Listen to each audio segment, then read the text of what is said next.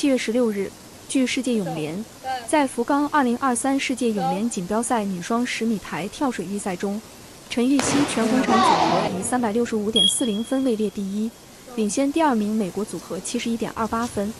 成功晋级今天十七点开始的决赛。全红婵和陈芋汐太强了，在世锦赛女子双人十米台预赛中，两人获得三百六十五点四零分，以第一的成绩晋级决赛。领先第二名美国组合七十一点二八分，两人的统治力有多强？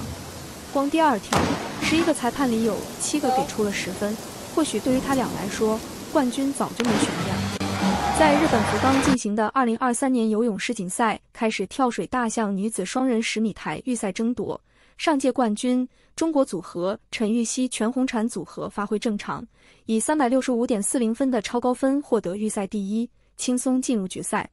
今天下午五点将开始决赛争夺。第一个动作二零幺 B，中国组合得到五十六点四零分，有两位裁判打出十分。第二个动作三零幺 B，中国组合比出很好效果，七位裁判打出十分，该动作得分五十八点八零分，已经相当接近于满分六十分。第三个动作幺零七 B，陈全组合跳出七十七点四零分，三跳合计一百九十二点六零分。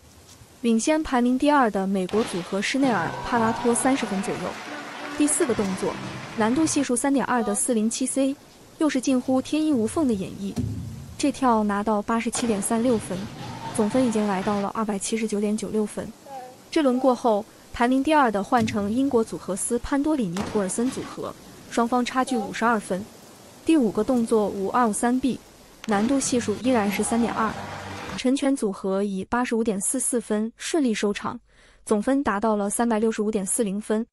施内尔帕拉托二百九十四点一二分排名第二，斯潘多里尼图尔森以二百九十三点二分排名第三，差距达到了七十分以上。